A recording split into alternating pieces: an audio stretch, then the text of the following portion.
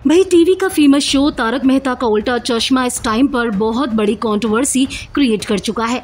Show के producer Asit Modi पर एक के बाद एक बड़े इल्ज़ाम लगाए जा रहे हैं। शो की एक्ट्रेसेस लगातार असित मोदी पर बड़े बड़े आरोप लगाती नज़र आ रही हैं। सबसे पहले जेनिफर मिस्त्री बंसीवाल ने असित मोदी पर सेक्सुअल हरासमेंट का आरोप लगाया। उसके बाद शो में बावरी का किरदार निभाने वाली मोनिका भदौरिया ने भी असित मोदी पर बड़े इल्ज़ाम लगाए। और अब एक और शॉकिंग एलिगेशन लगाती नज़र आ रही है। शो में काम करने करने वाली प्रिया। जी हाँ दोस्तों, प्रिया को अक्सर आपने तारक मेहता का उल्टा चश्मा में रीटा रिपोर्टर का किरदार निभाती ज़रूर देखा होगा। रीटा रिपोर्टर ने असित मोदी को लेकर बहुत बड़ा खुलासा किया है और इसके साथ ही रीटा रिपोर्टर ने बताया कि किस तरीके से असित मोदी शो पर सबके साथ बदतमीजी करते हैं। तारक मेहता का उल्टा चश्मा लंबे टाइम से अपनी कंट्रोवर्सी को लेकर चर्चा में बना हुआ है। पिछले कई दिनों से शो के मेकर्स पर गंभीर आरोप लगा रहे हैं। पहला इल्ज़ाम लगाया था असित मोदी पर शो में रोशन भाभी का किरदार निभा चुकी जेनिफर मिस्त्री बंसीवाल ने। और फिर इसके बाद बावरी यानी कि मोनिका भदौरिया ने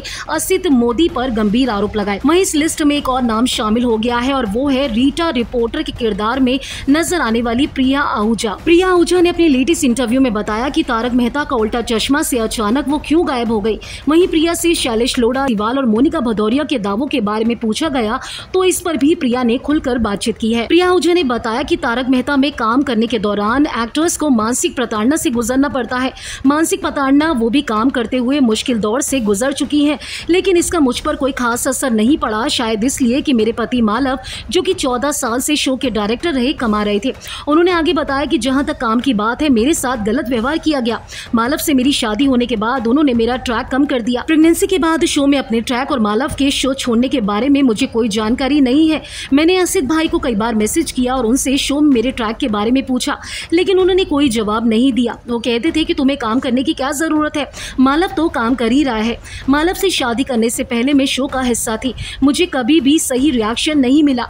जी हाँ दोस्तों, प्रिया हुजा जिन्हें आपने शो में रीटा रिपोर्टर का किरदार निभाते देखा होगा, उन्होंने अब एक शॉकिंग खुलासा किया है शो के प्रोड्यूसर असित मोदी पर। वैसे शो के प्रोड्यूसर असित मोदी पर जिस तरीके से एक के बाद एक बड़े खुलासे होते नज़र आ रहे हैं, शो के एक्टर्स बड़े बड़े आरोप लगा रहे हैं। उसके बाद इतना तो तय है कि लोगों के मन में ये बात ज़रूर आ चुकी है कि तारक मेहता शो की शूटिंग के दौरान एक्टर्स के साथ काफ़ी गंदा व्यवहार किया जाता है और यही वजह है कि एक के बाद एक एक्टर्स सामने आकर असित मोदी पर ये बड़े आरोप लगा रहे हैं। अगर आपने फिल्मी बीट को अभी तक सब्सक्राइब नहीं किया तो कर लीजिए। आप हमारा ये वीडियो फेसबुक पेज पर देख रहे हैं तो उससे भी लाइक कीजिए।